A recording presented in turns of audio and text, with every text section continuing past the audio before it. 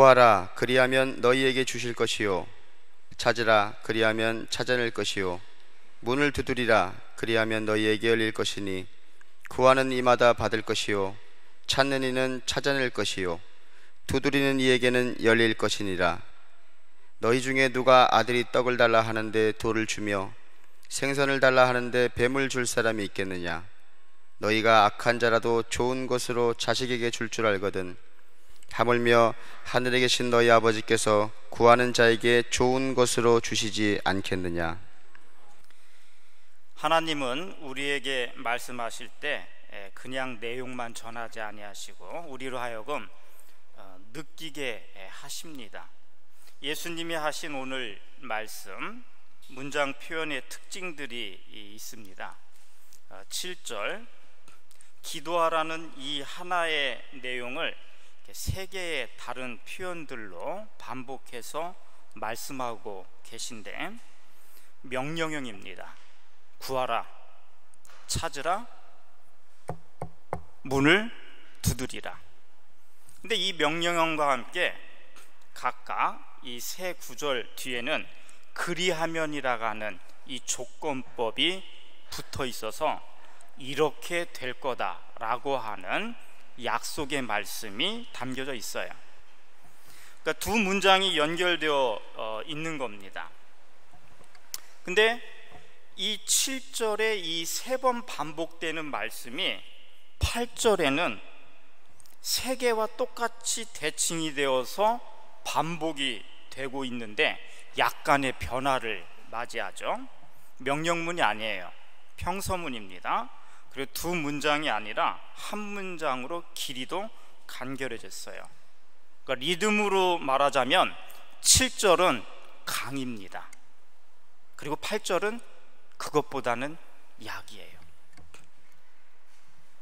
그러면은 9절, 10절, 어, 11절에는 이 기도하라 가는 의미가 어떻게 삼박자 세 번째로 반복이 되어 있는가 하면 첫 번째, 두 번째하고는 전혀 다른 방식으로 반복이 됩니다. 형식도 달라지고 그거에 사용되는 여러 소재들도 달라졌어요. 그리고서 이 세 번째 사막장이 반복될 때 그 시작이 첫 번째, 두 번째는 없었던 너희 중에 누가라고 이야기하고 있습니다.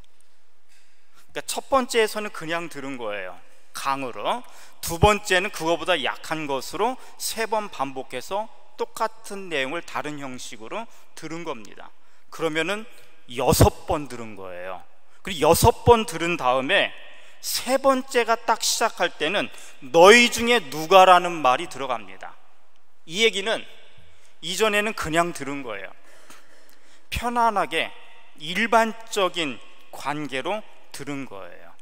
근데 지금은 특수의 관계로 명확하게 너희 중에 누가라가는 이 말을 가지고서 세 번째 반복을 시작을 하고 있어요. 그리고 나서 등장하는 중요한 단어가 뭐냐? 아들입니다. 아들이 누구예요? 아버지 어머니에게 어떤 존재입니까? 딸과 아들이 부모에게 어떤 존재예요? 일상에서 소중하게 경험할 수 있는 모든 인간이 공감할 수 있는 가장 중요한 이 관계성을 가지고서 기도를 왜 해야 되는지를 예수님이 세 번째로 말씀을 끄집어내고 계신 거예요.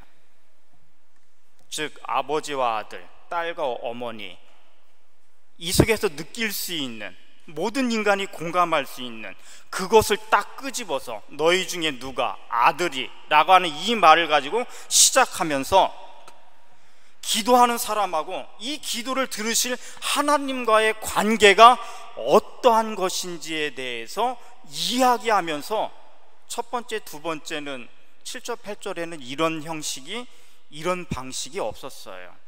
그리고서 말씀이 시작되는 거예요. 구체적입니다. 떡, 생선을 달라가는데, 근데 누가 돌을 주고 뱀을 주겠느냐? 이전에는 달라고 하는 구하라 찾으라 두드리라 이렇게만 되어 있었지. 근데 세 번째는 이것을 좀 더 구체적으로 이 특수의 관계성으로 반복을 세 번째로 끄집어내면서 시작하고 있는데 떡 생선 이것과 대조되는 돌 그리고 생선과 뱀 근데 여기에는 경험적인 표현이 들어가요 첫 번째 두 번째는 이런 기도를 경험하라고 일반적인 걸로 예수님이 말씀을 끄집어내고 계신데 세 번째는 그렇지가 않아요. 너희 중에 누가 아들이 달라라고 하는데 달라라고 하는데 이걸 두 번 반복하고 있습니다. 이 달라라고 한다는 거는 우리가 일상에서 경험해 본 거예요. 엄마, 나 이거 해줘. 아빠, 나 이거 필요해. 달라는데 경험을 해서 공감할 수 있는 이것들을 건드리면서 세 번째 똑같은 내용이 전혀 다른 방식으로 이야기가 되고 있는 거예요. 떡을 달라가는데 돌을 줄 사람이 있고 생선을 달라가는데 뱀을 줄 사람이 있느냐? 결국에는 똑같은 얘기가 다른 소재를 가지고 두 번 반복한 겁니다. 이게 9절이고 10절이에요. 그리고 나서 질문형으로 되어 있잖아요. 첫 번째는 명령형이었어요. 그리고 조건법 문장이 좀 길었어요. 근데 두 번째는 평서문에 약으로 들어갔어요. 근데 세 번째는 이러한 대조와 반복을 좀 더 구체적인 것으로 공감할 수 있는 소재와 관계성으로 완벽하잖아요. 그러면서 질문으로 던진 거예요. 이렇게 달라고 하는데 이렇게 줄 사람 있냐? 라고 물은 거예요. 그럼 이 얘기는 뭡니까? 반문한 거잖아요. 첫 번째 7절의 명령형보다 비교할 수 없을 정도로 굉장히 강한 박자가 이 세 번째 시작이 되어서 들어간 겁니다. 그러면 여기서는 구체적으로 이야기를 듣는 상황에 이야기를 듣는 사람 그 자신에게로 확 달려가는 너희 중에 누가라고 하는 이 말씀을 가지고 이런 표현들로 이, 이렇게 진행이 되면서 질문형으로 던져졌기 때문에 그러면은 어떻게 돼요? 음악이나 예술, 건축은 사람 속에 그것을 느낄 수 있는 반응할 수 있는 모든 것들을 다 예상하고서 계획된 것이지 그렇지 않은 게 없어요. 예수님이 혼자 말씀하고 싶지 않으신 거예요. 하나님이 이렇게 말씀을 계속 반복하면서 우리에게 다가오실 때 이 말씀을 듣는 자가 어떻게 반응을 보일지에 대해서 질문으로 강하게 던지시고 그러면 듣는 사람에게 아니 그럴 사람 없어 아닙니다 그럴 사람 없어요 no 이게 자연스럽게 대답이 나오도록 그렇게 끄집어내고 있잖아요. 대단하지 않아요? 굉장히 강하게 땅 하고 때렸는데도 이 강이 첫 번째 7절하고 틀린데도 굉장히 강하게 땅 때렸는데도 그러면서도 상대방은 이게 어거지나 부자연스럽고 그리고 부조화로 자기의 대답으로 끄집어내는 부자유가 아니라 자유와 자연과 참으로 자발적인 의지를 가지고 아니지. 누가 그럴 사람 있어? 공감할 수 있는 것으로 이 보이지 않는 리듬이 거기서 딱 끄집어내지는 거예요. 듣는 사람의 생각과 마음을 끌어내는 겁니다. 굉장히 자연스럽게. 물 흐르듯이. 그러면 그 뒷부분은 뭐냐? 여기서 11절 클라이막스가 나옵니다. 근데 이 11절에 전반부에 이 두 번이 이런 형식으로 강하게 반복이 되었는데 질문형으로 하나로 묶였어요. 그러니까 세 번째 반복되는 첫 번째가 이게 하나였다는 거예요.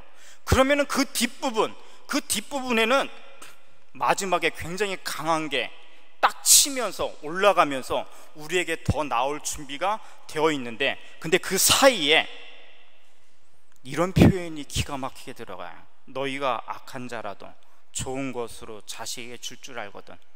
굉장히 짧아요. 근데 이 얘기는 뭔가 하면은요. 9절하고 10절 그렇게 반복해서 길게 질문형으로 말했던 것을 대주법으로 말했던 것을 마지막 클라이막스 올라가기 전에 다시 여기서 템포와 강약을 살짝 늦추고 약하게 들어간 거예요. 이 표현이 너희가 악한 자라도 좋은 것으로 자식에게 줄 줄 알거든. 이 한마디는 여러분들 9절하고 10절을 굉장히 간단하게 다시 요약해낸 말이에요. 근데 이렇게 간결하게 요약해낸 말인데도 여기에 한 편이 들어갔기 때문에 계속 이렇게 높이 올라가다 한 번 푹 떨어지는 이 낙하의 힘이 얼마나 큰지에 대해서 악한 자라 돼. 9절과 10절은 좋은 것을 구하는데 이렇게 나쁜 거 너희한테 주겠냐? 라고 두 번 반복했는데요. 근데 11절의 시작은 너희가 악한 자라 돼요. 악한 것을 먼저 집어넣고 너희가 좋은 것으로 줄줄 알면서 악한 것 좋은 것 이 대비를 그 이전에 있었던 두 개의 반복을 교차 대칭으로 사용한 거예요. 대칭도 아니고 엮여진 십자가 모양으로 교차로 하면은요 이거는 정말 강한 표현입니다. 너희가 악한 자라도 좋은 것을 자식에게 줄줄 알거든. 그리고 이후 마지막에 어떻게 맺어지고 있느냐. 여기는 비교법도 나오고요. 비유도 나와요. 여러분들 비유라고 하는 건 뭘 얘기하는가 하면은요. 손가락으로 이렇게 얘기했을 때 이 손가락에 머무르지 않고 이 손가락 넘어서 있는 저 너머까지 가겠다라는 얘기예요. 지금 7절, 8절 그리고 경험 속에서 느껴질 수 있는 아버지, 아들, 생선, 떡 일상의 이런 이야기들이 쭉 진행이 되면서 거기서 비교뿐만 아니라 비유라가는 걸 통해서 여러분들 비행기가 어떻게 떠요? 이 땅에서 달리다가 그냥 이 땅을 버리고 그 위로 날아가잖아요. 즉, 이 세상의 이야기를 하시는 것 같은데, 이 세상에서 보이지 않는 무한한 신비의 저 세상에 계신 아버지 하나님, 하늘에 계신 아버지, 이 얘기로 땅 띄어서 날라서 비약으로, 비유로 넘어가고 있는 이 기가 막힌 움직임이 표현되어 있어요. 그 내용이 뭐냐? 하물며 하늘에 계신 너희 아버지께서 구하는 자에게 좋은 것으로 주시지 않겠느냐?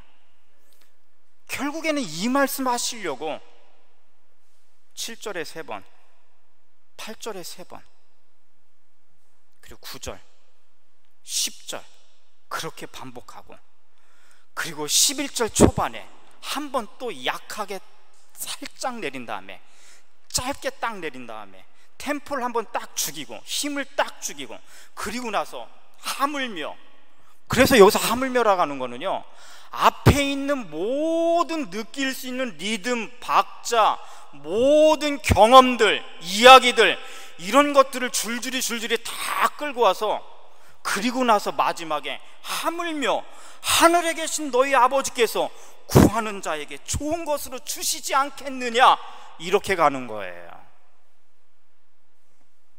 그러면 아멘, 아멘, 아멘. 진실로 그렇습니다. 당신의 말씀이 진실로 맞습니다.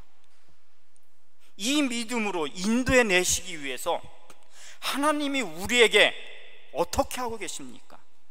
그냥 전할 말씀 내용만 던지지 않으시는 거예요. 우리를 굉장히 예민하고 섬세하게 모든 것 하나하나 끄집어서 우리의 믿음이 우리의 일상과 우리의 모든 감각을 다 느껴서 박자, 리듬 다 과정 받쳐서 거기까지 딱 나와서 하늘에 계신 하나님께서 하물며 이분이 구하는 자에게 좋은 걸로 주시지 않겠느냐? 하나님 대단하지 않으세요? 하나님의 말씀, 저는 성경 말씀이 참 대단하다고 생각해요. 아니, 어떻게 기도하라고 하는 이 하나의 말씀을 이렇게까지 다 생각하면서 완벽하게 여러분 모차르트가 베토벤이 비발디가 위대하잖아요. 단테가 위대하잖아요. 근데 예수님 피할 수 없습니다. 하나님의 말씀, 성경 말씀 귀 기울여서 다시 들어보십시오. 예술입니다. 하나님이 대단하셔요. 그 하시는 말씀이 정말 아름답고 섬세하고 리듬이 있고 우리의 무감각을 다 이해하고 우리에게 감각이 있다가는 거, 오감이 있다가는 거 다 이해하시고 그리고 우리를 만나시는 거예요.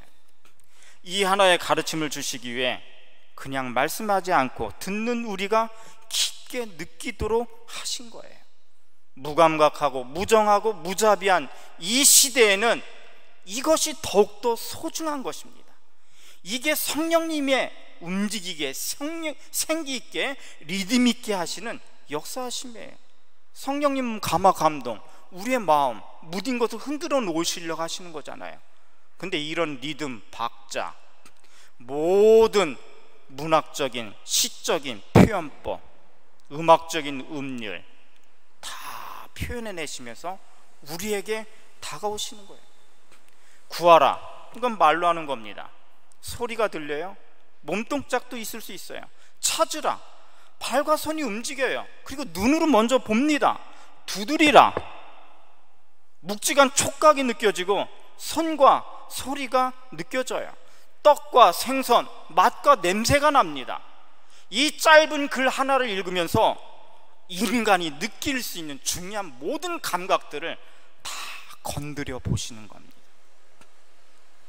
그림과 조각, 건축, 예술, 시와 문학, 음악 이런 것들이 도대체 하나님의 말씀을 전하는데 기도하는데 하나님을 영화롭게 하는데 우리가 사는데 그리고 믿지 않는 사람들 마음이 둔하고 완고한 사람들 만나는데 왜 필요하냐? 오늘 예수님이 우리에게 하시는 말씀들을 읽으시면 이게 얼마나 소중한지를 자 그러면 여러분들은 왜, 왜 하나님이 나를 이 이태리에서 이 로마에서 살게 하시는 것인가? 이 질문을 가지고서 이 시대에 여러분들이 가지고 있는 재능, 달란트를 일상에서 또 학교에서 또 미래의 계획 속에서 잘 소중하게 구별하여 살릴 수 있기를 주님의 이름으로 축원합니다. 반복이 그냥 반복되면 짜증나요. 그냥 한 번 얘기하고 말면 그게 더 효과가 있고 좋아요. 그래서 서로 얼굴 붉힐 일 없어요. 왜? 아니 반복되면 그게 잔소리로 느껴지고 리듬도 없고 생기도 없으면 짜증나지. 시간만 아깝지. 아니 성경 말씀 기도하라 이거 하나 하는데 예수님이 이렇게 쭉 하셨을 때 짜증 나신 분 없잖아요. 반복이 이렇게 창조적으로 리듬 있게 매일매일의 삶 속에서 계속될 수 있는 이 일상 이런 축복이 여러분들이 로마와 이태리 그리고 이곳의 삶 속에서 있기를 주님의 이름으로 축원합니다. 아, 내가 또 오늘 이 노래를 불러야 돼. 아, 내가 오늘도 또 저 장면을 보내. 아, 내가 오늘 또 이 사람을 만나네. 아, 내가 또 밥 먹어야 돼. 이게 아니에요. 똑같이 반복되는 것 같지만 그 반복 속에 사랑이 있고 성령님의 리듬이 있고 생기가 있고 감사가 있고 영광이 있는 자에게는 똑같은 밥을 한 번도 경험하지 않습니다. 날마다 새로워요. 봐도 봐도 또 보고 싶어요. 먹어도 먹어도 꿀맛같이 또 먹고 싶어요. 이게 살아있는 사람의 하나님이 주신 일상의 신비입니다. 예수님이 반복하면서 지루하게 반복하지 아니하시고 반복할 때마다 리듬이 강이든 약이든 아니면은 길든 짧든 다양하게 창조적으로 변하시는 것은 살아있다라는 거예요. 성령님 이것을 가지고서 감동을 주시는데 우리의 똑같이 반복되는 일상이 정말 하나님으로부터 은혜 받은 것이라면 눈 떠서 그날 하루 행하고 만나고 대해서 해야 되는 모든 것들이 새롭고 감사하고 생기가 있는 그런 사랑, 그런 영광, 그런 축복 권세가 있기를 주님의 이름으로 축원합니다. 그럼 이 땅의 것들은 무엇입니까?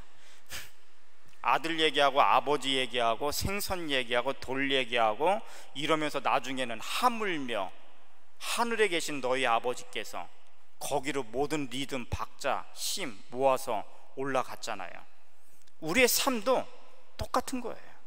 이 땅에서 하루하루 대하는 커피, 카푸치노, 또 모든 자잘한 이야기들, 일들, 그런 것들 속에 야, 참 놀랍다. 오늘 햇빛이 어쩜 이렇게 아름다울 수 있을까? 오늘 이 골목빛에 비치는 이 명함의 아름다움은 어쩌면 이렇게 내 마음속 어둠 속에 다가오는 은혜의 빛처럼 달콤하고 아름다울 수 있을까? 놀랍고 신비롭고 생기가 있는 거예요.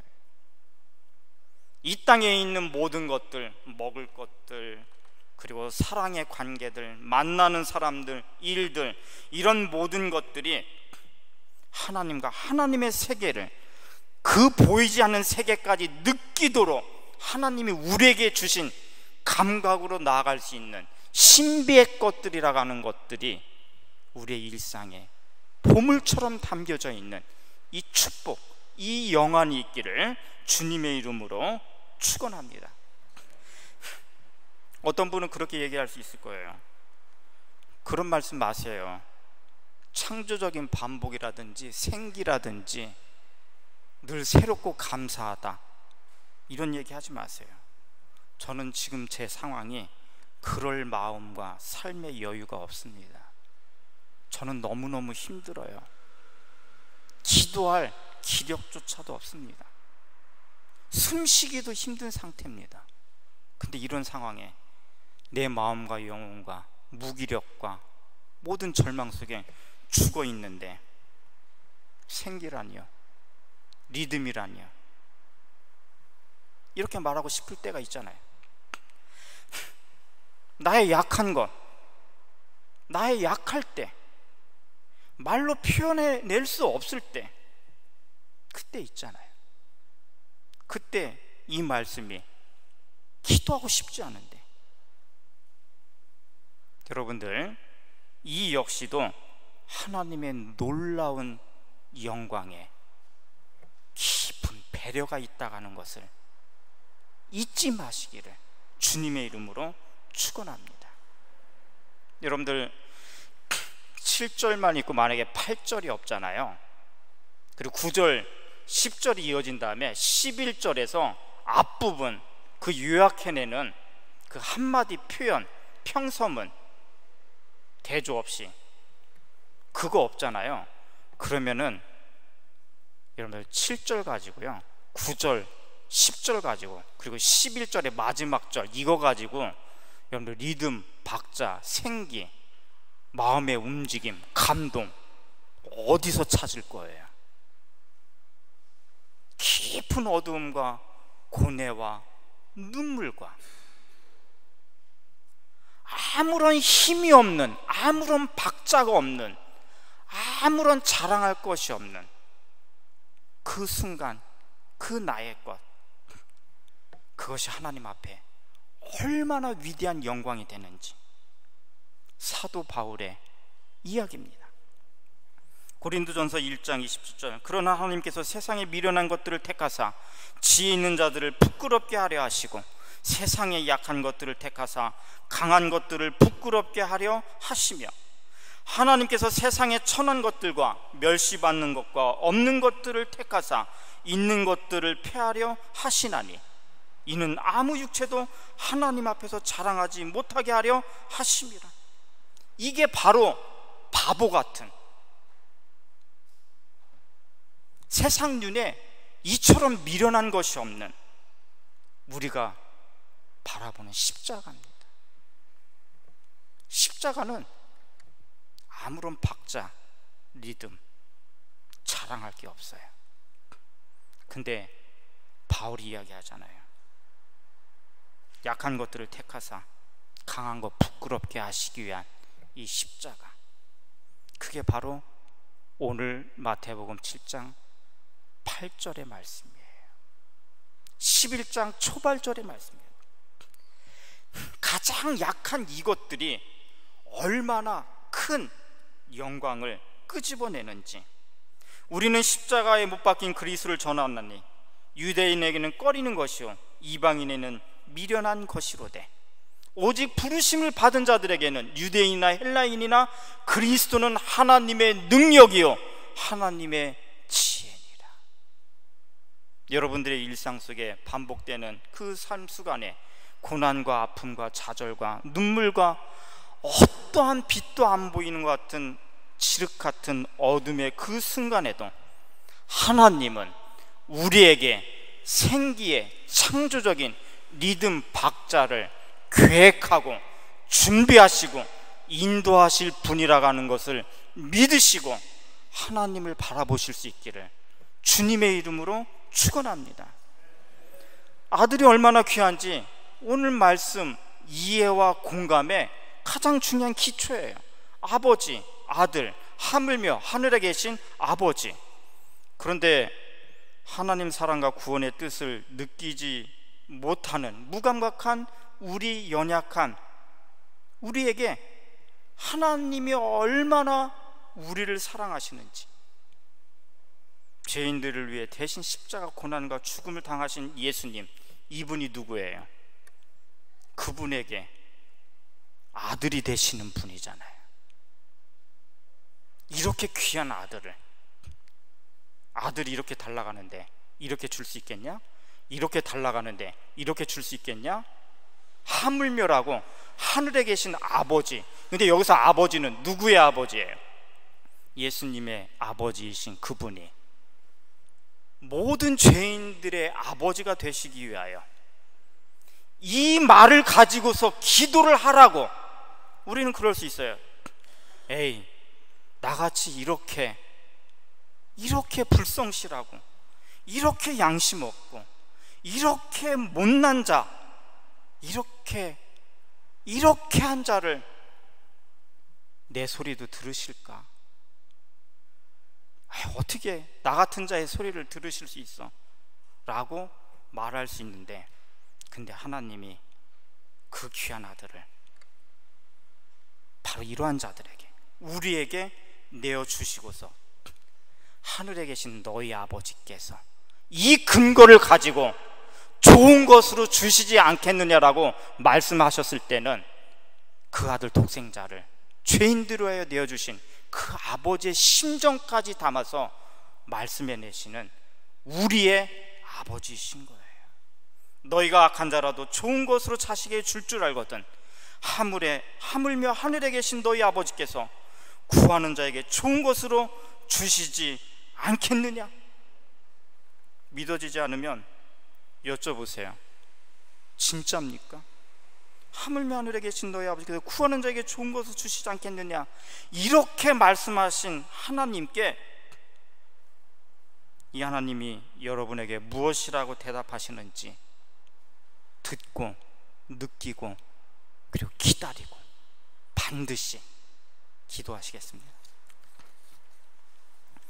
하나님 아버지, 이 무더운 여름에 주의 사랑하는 자녀를 거룩한 주님의 몸에 불러주셨사오니 죽으심과 다시 살리신 놀라운 생기가 우리의 일상과 아름다움과 감각 속에서 이 로마에서 또 우리의 삶의 자리에서 어떻게 생기와 리듬과 살아있음을 가지고 우리의 몸과 마음이 창조적으로 감사로 영광으로 반복되며 하나님 앞에 나아갈 수 있는지 하루하루의 삶이 이 능력이요, 이 기쁨이요, 이 영광이요, 이 노래가 되게 하시고 로마로 부르신 하나님 아버지 이 시대 한국 교회와 한국 사회와 이 땅에 무감각하고 무정하고 무자비한 그러한 자들에게 하나님의 귀한 복음을 잘 느낄 수 있도록 전할 수 있는 모든 음악과 시와 예술과 감각들로 우리가 준비되어 나아갈 수 있도록 성령의 감동의 역사와 지혜와 돕는 손길들을 한 사람 한 사람 우리에게 허락하여 주시옵소서. 모든 것 주님께 의탁합니다. 감사하며 예수님의 이름으로 기도드리옵나이다. 아멘